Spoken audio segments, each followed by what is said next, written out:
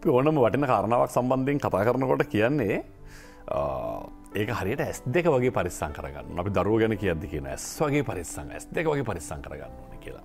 වටිනාකම් දෙන්න අර ඇස් වගේ පරිස්සං කරගන්නවා කියලා කියන එක හරි අපූරු යෙදුමක්. එතකොට ඇස් දෙක ඒක කොහොඳ පරිස්සං කරගන්න ඕනේ. එකතම අද කතාව මොකද අද ලෝක දෘෂ්ටි දිනය බවට පත්වන නිසා ඔබේ දෘෂ්ටි ඔබේ පෙඩීම සම්බන්ධයෙන් තමයි අද අපේ කතාබහ එවිනිවෙන් විෂන්කයා සවිසස් පුද්ගලික සමාගම නියෝචනය කරවෙන්න පත්තික සම්බන්ධයනවා එහි දෘෂ්ටි විශේෂඥ ජනන්තනී ජයවර්ධන මහත්මය. අයපන් කියල පිළි දැන් හරි සාම්ප්‍රදායකයි වගේ කියලා හිතන ප්‍රශ්නකින් මං වැඩේ පටන්ගන්න එකන්නේ ඇස සහ පෙනීම. ඒක ඇති වැදගත්කමෝ කෙනෙකුට නිකන් හිතෙනකොට මොකද්ද මේ අහපු ප්‍රශ්නේ කියලා. නමුත් ඒ සම්බන්ධයෙන් විශේෂඥතාවයක් තියෙන කෙනෙකුට දෙන්න තියෙන උත්තරේ වෙනස් එකක් කියන අවධානයෙන් තමයි මේ කතාවට එන්නේ. ඇත්තටම ඇස සහ පෙනීම කියන එකේ ඇති වැදගත්කම මොකද්ද? මම ඒකට මෙහෙම කියන්නම්කෝ.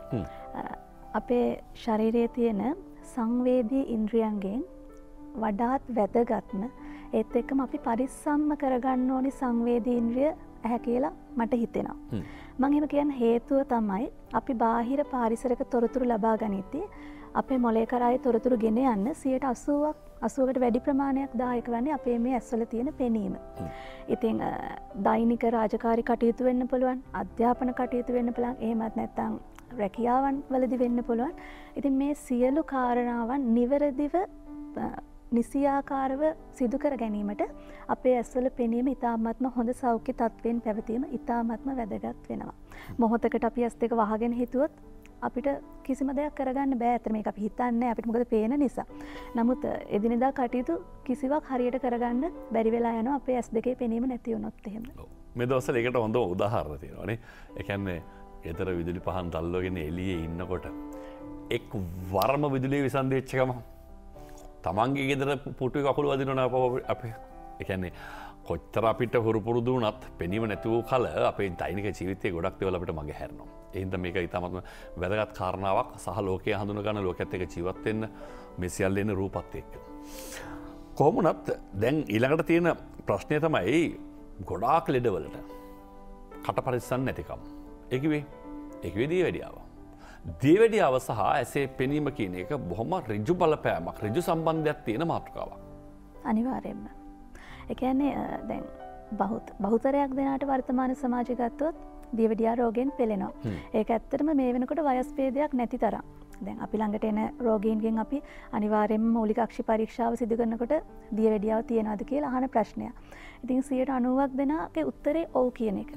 ඉතින් දිය වැඩියාව ඔබට අද හැදනොත් හෙට ඔබ අද දැනගන්නවා වෙන්න පල නමුත් හෙට වෙනකොට ඔබේ හට හානි වෙනවා කියලා නෙමේ මං කියන්නේ. නමුත් දියවැඩියා රෝගය දිගුකාලීනව පැවතීම හේතුවෙන කැනේ. පාලනයකින් තොරව දියවැඩියාව පැවතීම හේතු යම් පුද්ගලයකින්න පල තමන්ට දියවැඩියාව තියෙනවා කියලා නොදෙන. ඉතින් මෙවැනි රෝගීන්ට කාලයත් සමග කාලය ගතවත්ම අපේ ඇස්සලට හානි කර තත්වයන් ඇතිවෙන් පුලන් එක අපි කියනා දියවැඩියාව නිසා හැට හානි වෙනකට අපි කෙන විශේෂෙන්ම ඩයිබටික් රැටි නොපි තත්වය කියලා. ඒවගේ ඇත්තරම ඇහැට විතරක් නෙමේ දියවැඩියාව හානි කරන්න ප්‍රධාන වශයෙන්ම අපේ වකුගඩුවලට හානි කරන අපි දන්නවා. ඒවගේම තමයි අපේ ස්නායු පද්ධතියට හානි ඇති වෙන. ඉතින් ඒවගේම දැන් අපි ඇහැගැන කතා කරන්න. ඒතෙක්ම දියවැඩියාවගෙන් මොකක්ද කියලා පොඩි හැඳින්වීමක් කළත් අපේ ශරීරයේ තියෙන ගලූකෝස් මට්ටම අනවශි ලෙස ඉහළයමක් තමයි මෙහිදි සිද්ධ වෙන්නේ. ඉති යම් පුද්ගලයෙක් පළමුුවරට තමන්ට තියවැඩියාව තියෙනවද නැද්ද කියන දේ හඳුනාගන්නකොට සාමාන්‍යෙන් පොදුවේ දැනෙන රෝග ලක්ෂණ කිහිපයක් තියෙන. කියන්නේ නිතර නිතර යුරින් පාස් කිරීම අවශ්‍යතාව ඇතිවෙන්න පුළ නේත් එක්කම රාත්‍රී නින්දේදී යුරින් පාස් කිරීම අවශ්‍යතාවේ නිතර ඇතිවෙන්න පුළුවන්. අධික ලෙස දැනෙන මහන්සිය නිදිමත නිතර නිතර කුසගිනි දැනීම ඒවගේම පිපාසේ දැනීමනි කාරණා තියෙන පුද්ගලයන් ඉන්න පැති ඒවගේ පුද්ගලය ඉන්නවනම් ඇත්තරම තමට දිය වැඩියාව තියෙනද කියලා පරීක්ෂණයක් කරලා බලාගන්න එක ඇත්තටම හොඳයි.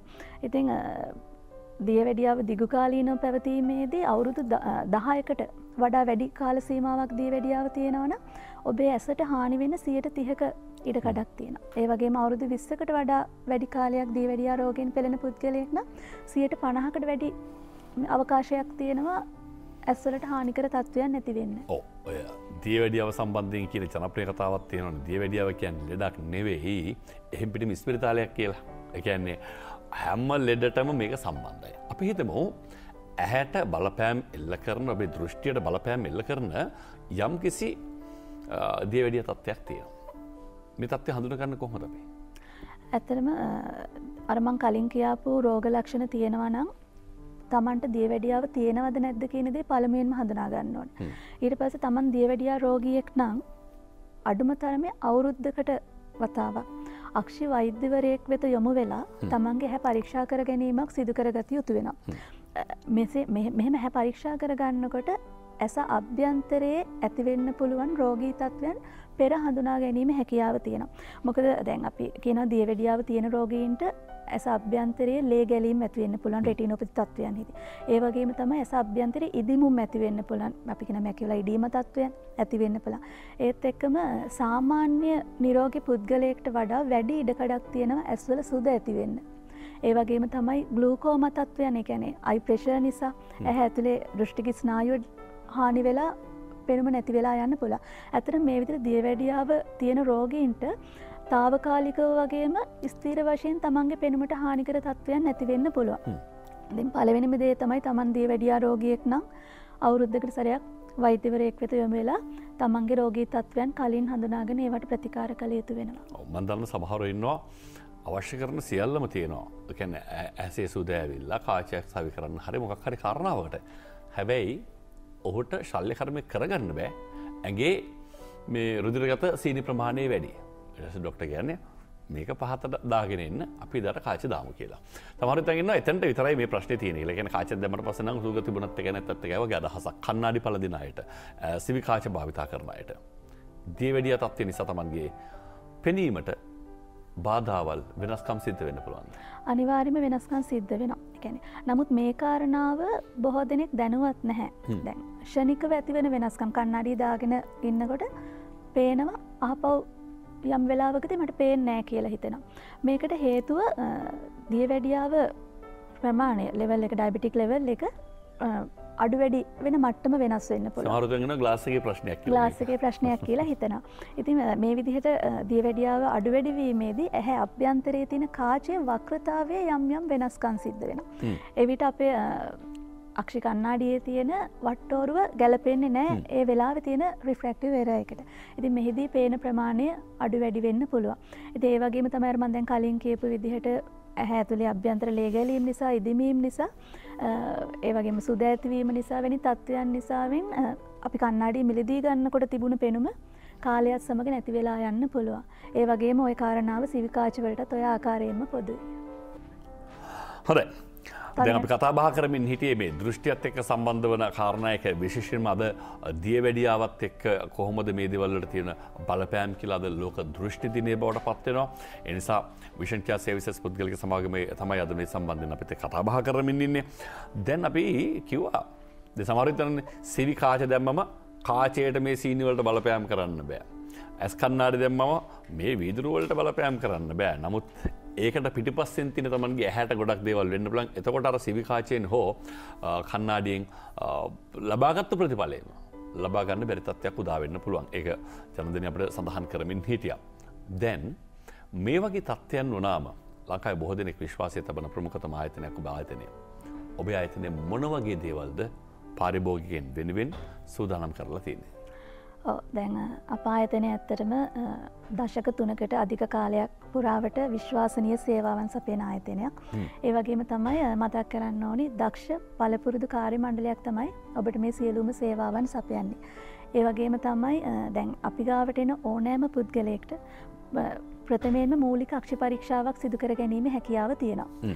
මූලික අක්ෂි පරීක්ෂාව සිදුකර ගනිද්දී හඳුනාගන්නා යම් යම් තත්ත්වයන් මත ඔවුන්ට ගැලපෙන ඇස්කන්නාඩිය සිවිකාච එසේ එහමත් නැතන් අවකන්නාඩි මිලදී ගැනීම හැකියාව තියෙනවා වගේම පෙනුමට හානිවී තිබෙන අභ්‍යන්තර රෝගී තත්වයෙන් හඳුනාගන්න පුළන් ඒ එවිට ඔබව වෛද්‍යවරුන් කර අපි නිර්දේශ කරනු ලබනවා.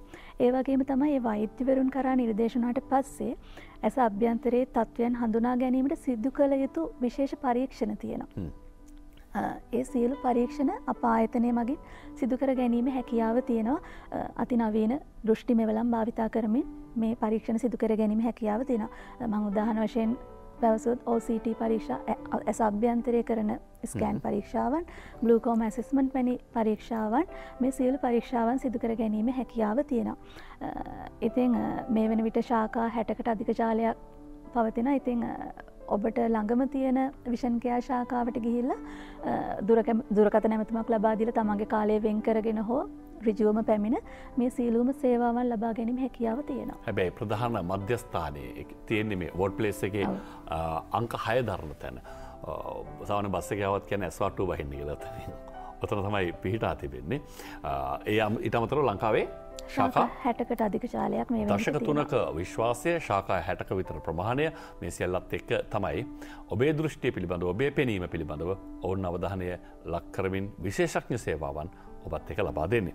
ඔබට වැඩදිර තොරතුරුම හර දැනගන්න අවශ්‍ය නම් බිඳුවයි එකයි එකයි හැත්ත පහයි හැත්ත පහයි සියය. බිඳුවයි එකයි එකයි හැත්ත පහයි හැත්තෑ පහයි සියය කියන දුරකතනංකයොස්සයට විමසීම් කරන්න පුළුවන් කමති වුණ. සාමාන්‍යෙන් උදේට කීයටද විවෘත්ත වෙන්නේ හවස හෝ රාස්ත්‍රී වෙනක කොහොඳ වෙලාව. අපේ ප්‍රධාන ශාකාව උදෑසන හතේ සිට රාත්‍රී හත දක්වා විවෘතව පවතිලා. ඉතින් ඔබට අවශ්‍ය වේලාවක් වෙන්කරවා ගැනීමට ඔබට දුරකත නැමතුමක් ලබාදීම පමණයි සිදු කළ යුත්තේ. අපිට අපිට සාමාන්‍යෙන් ඔය දෘෂ්ටි සම්බන්ධයෙන් කිව බෝධන කිතන සිවිකාච නැත්තම් කන්නාඩි ඒ පමණයි කියලා. හැබැයි විලා බෝධන කිතන අවකන්නාඩි කියලා කියන විලාසිතාවක් විතරයි කියලා. ඇත්තරම අවකන්නාඩි කියන විලාසතාවක් විතරක්ම නෙමේ දැන් අපි දන්නවා ලංකාව සමක ආසන්නේ තියෙන රටක්. ඉතින් රිජුවම හිරවෙලිය පතිත වෙන යුවී කරනින් නැහැ ආරක්ෂා කර ගැනීමට තියෙන ප්‍රධානතම සහ පහසුම මෙවලම තමයි අවකන්නාඩිය කියලා කියන දැන් අපි දකිනවනේ අවකන්නාඩි ෆැෂන් එකට විතරක් භාවිතා කරන පිරිසක් ඉන්න කැන පාරයනකට තින අවකන්නාඩියක් ගන්න පලන් එමනත ඇදුම් සාප්පක තින අවකන්නාඩියක් ගන්න ප්‍රනමුත් ඒක ප්‍රමිතියගෙන කවරුත් හිතන්නේ නැහැ. මොකද දැන් අපි අවකන්නාඩියක් පැළඳුහාම අපේ ඇහේ තියෙන ගනිනිකාව විශාල වෙනමකද අඳුරක් එන නිසාාව. එතකොට ඒකෙන් අහිතකර පාරජම්බල කිරණ ඇතුල් වෙන්න තවතව වැඩි ඉඩකඩ සලසනවා. ඒක යුබේ බ්ලොක් කරන අවකන්නාඩියක් නොවේ ඉතින් අර අපි අවකන්නාඩියක් තෝරා ගැනීමේදී ඇත්තටම පරිස්සං වෙන්න ඕනි ප්‍රමිතියක් තියෙන අවකන්නාඩියක් තෝරාගන්න සමහටනගේ ප්‍රශ්නයක් නෑමකොද සමරු කන්නාඩිය තින්න ඇස් දෙකෙනීම ඔලුව නල්ල හරි කොහර නිසා. ඇ කොහට තත් එක විලාසිතාවක් විතරක් නෙවේ මතකතියාගන්න ජීවිත විලාසිතය වැදගත්ම කාරණාව ඔබේ ඇස් දෙක ඔබේ පෙනීම. ඒක පරිස්සම් කරගන්න. මේ සම්බන්ධන තවධානයම කරන කියලා මතක් කරන කැමතියෙන චනන්දන චයවරද බොහමත් ස්තුතියි. අපිත් එක් අද දවසේදී සම්බන්ධනට මේ කතාවට තවත් දවසක මුණ ගැහෙමු. බොම ස්තුතියි.